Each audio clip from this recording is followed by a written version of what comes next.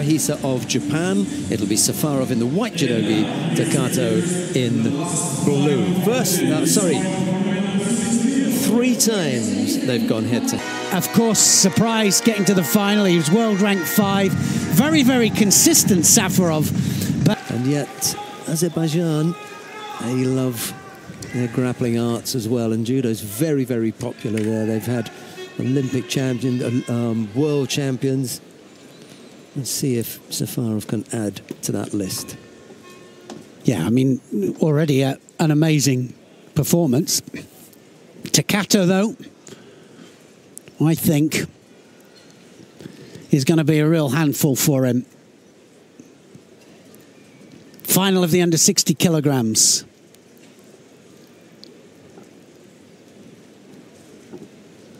On the sleeve and poor attack there from Takato. Felt that he had to go in there. Just a little bit of a panic attack, I think.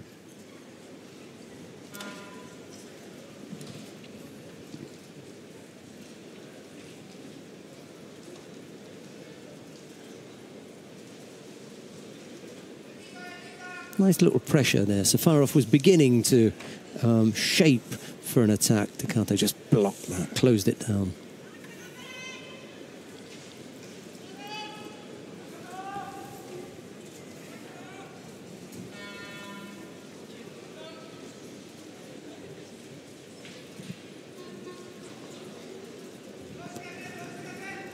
Yeah, left to left as well. No rotation mm. on that.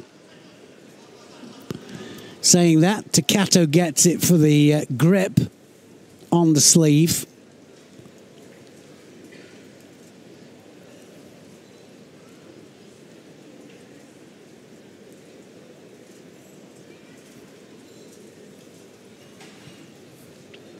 Well, they're both on the sleeves here, so they have to attack in. They've got to go in.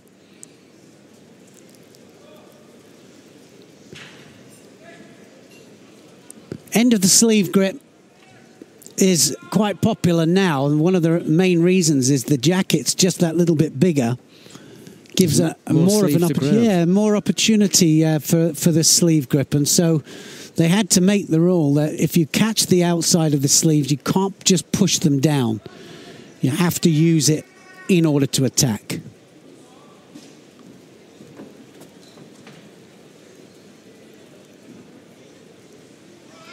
Oh, Seoinage there, Takato.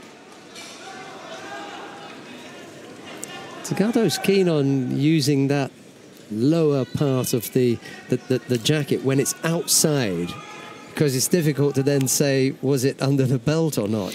well, you're allowed to uh, take the bottom part of the yeah. jacket if it is outside the belt. If it's inside the belt, you can't. Yeah. So you get uh, penalised for it. So you know the gripping strategies are there. Everybody knows them. It's it's the same for everybody you know so you could say well you know let's let any grip we, so that we can grip anywhere. But the fact is is that you've got to draw the line somewhere.